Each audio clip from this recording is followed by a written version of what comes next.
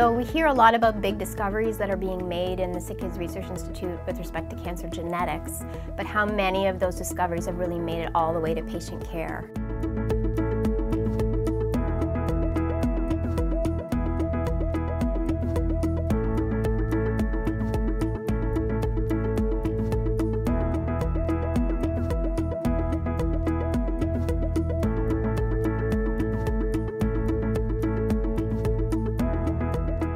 This is the first time where I've really been able to take the discoveries that we've been making, for example, in the Brain Tumor Research Center, and really move them into the diagnostic arena. Be able to go to rounds and talk about the actual molecular results um, with the clinicians, and we're able to make clinical decisions using this additional information.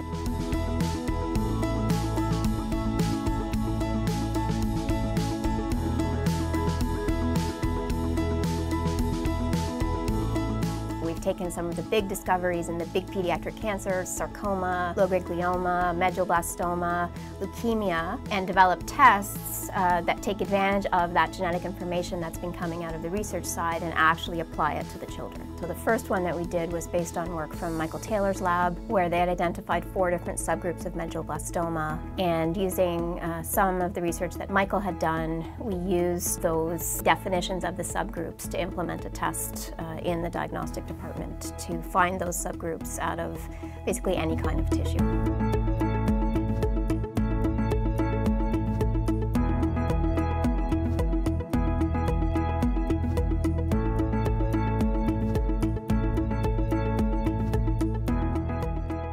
This nanostring-based test basically takes RNA out of the tissue, and once we've determined that it's a medulloblastoma by looking at it under the microscope, we can then shave that tissue, take the RNA, and determine which of those four. And which of the four subgroups you have makes a big difference in terms of how we expect that tumor to behave, how aggressive should we be in terms of therapy.